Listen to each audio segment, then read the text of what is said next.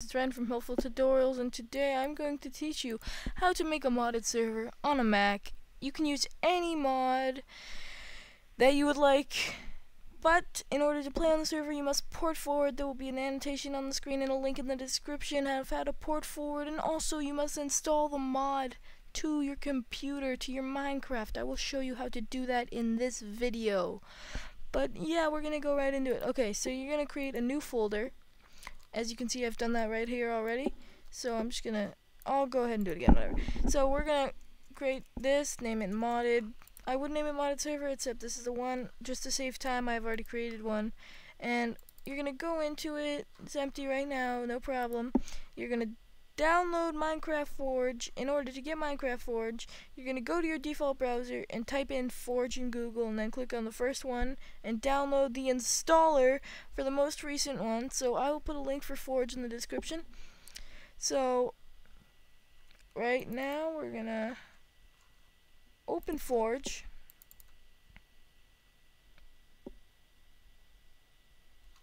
And then this should come up. It will say there would be three install things. It's going to come up in a second. Okay, so you're going to, if you haven't already used Forge, you're going to go ahead and click Install Client and click OK. And what this will do is it will install the client to your Minecraft. And then after you've done that, you're going to want to reopen Forge and click Install Server, and then double click, and then click these three dots. Go down to whatever your name is, the home, and then go into your desktop, and go into the folder. So it's going to be called whatever you called it, and then we're just going to cancel because we've already done that. And then you just want to click OK. I just canceled because I've already done it. Um, and then what that will do is it will install three things into your folder. And if there's an error right here and it crashes, that's because your Minecraft is um the the forge the Minecraft forge you used in your Minecraft folder is not the same that you've used in the server. So if you haven't fixed that, you're going to want to go ahead and do that and there won't be an error. So then what you're going to want to do is you're going to come in here. There will only be three things. Don't worry. There should only be libraries, this, and then this. What you're going to do is you're going to double click the Minecraft Forge and this thing right here, Minecraft Forge, as you can see, it's blue. And then all these folders will come up and you'll get a console. And then as soon as that finishes generating the world and all that, you can just click stop. And then for your mod, in order to put the mod on the server, you're just going to go into the mods folder, drag the mod in there, and then delete the world so you can regenerate the world with the mod in it. So we're just going to go ahead and clear our trash. And then in order to install the mod into your Minecraft, you're gonna go, oh, not, not here.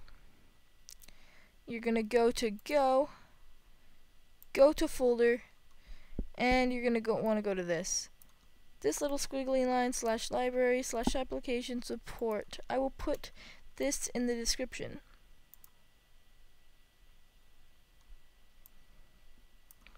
Okay, and after you've done that, you're going to want to scroll down until you find Minecraft and then you're just gonna get this Minecraft folder. This is all your Minecraft. And what you're gonna want to do is you're going to want to go to mods. And this is where you're to put the mod in. So I'm just going to uninstall Pixelmon. Go ahead and uninstall Pixelmon. And then you're just going to go into your mods folder and drag the mod in. Oops, that's not the mod. The mod. Now, if this is Pixelmon, if your mod is Pixelmon, then you're just going to want to drag the pixelmon.zip in and then go out and drag the database into your Minecraft folder. And then it will work. If you do not do that, Pixelmon will not work. It's only for Pixelmon. Do not worry if it's a different mod. Alright, and now that we've done that and installed our mod into our server and into our Minecraft, we can just go ahead and double click the Minecraft Forge Universal and this is gonna how you all this is gonna be how you always start your server you're gonna have console when you open this more folders are gonna start generating and it's all gonna be good so while that is opening we're gonna go ahead and go into Minecraft and open it up and get into the server.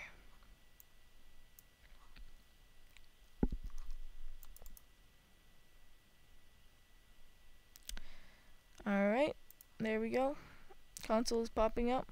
We're just going to let it regenerate the world. And then we are going to have to do an extra step that you guys do not have to do. The only reason I have to do this extra step is because I have port forwarded on a different port. When you guys do your port forwarding, you're going to want to port forward on port 25565, which will make your life a lot easier.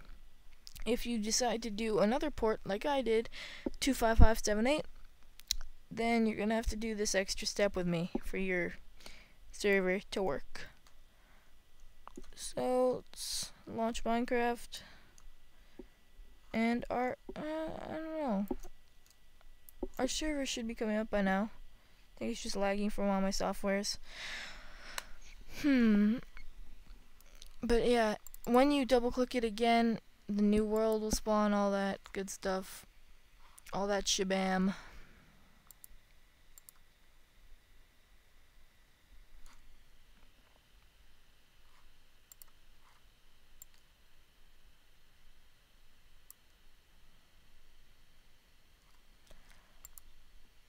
There we go.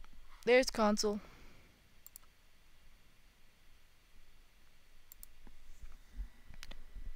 Console is coming up right now.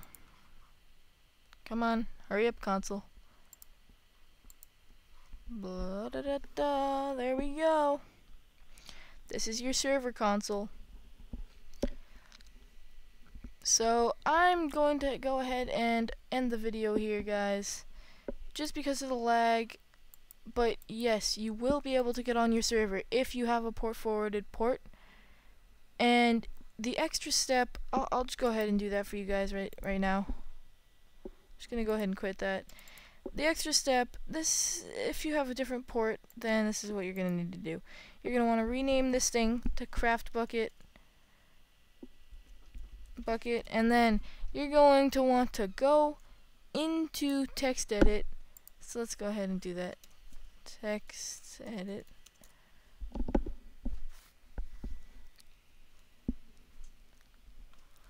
And so this is the code you're going to want to type into text edit. Let's see. Right here.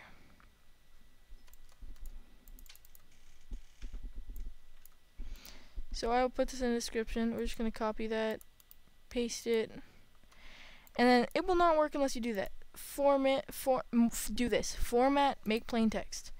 Then this will happen. And then after that, you're going to want to save it.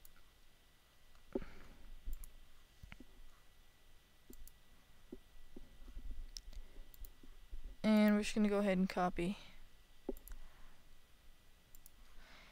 And then you're going to want to rename it whatever you want blah blah blah dot command use command and then you'll have your command for your server. I already have one, so I'm just going to go ahead and drag that to the trash and paste this one into here. And then double click it.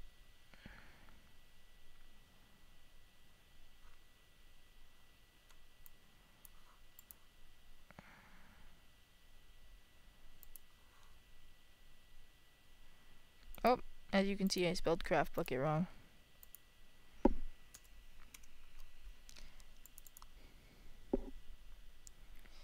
Now, what this extra step will do is it will allow you a better console for easier kicking, and also, if you have a different port, it will be a lot easier, and the server will run a lot more smoothly.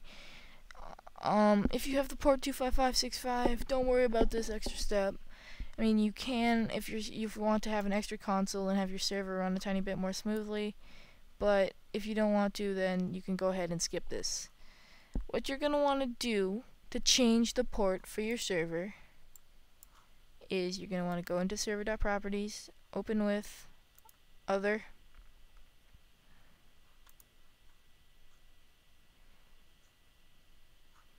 now you're going to want to go down to Let's see if we can find it. There we go, text edit. And you are going to want to make the server port 25578. Or whatever you port forwarded on. It doesn't have to be 25578. Yeah. But yeah, that is how you do the extra step. That is how you make a modded Minecraft server with any mod you want and play on it. The port forward annotation is on the screen as you can see right over here. Right over here. Yeah. And it's in the description. So, thank you for watching. Remember to comment, rate, and subscribe.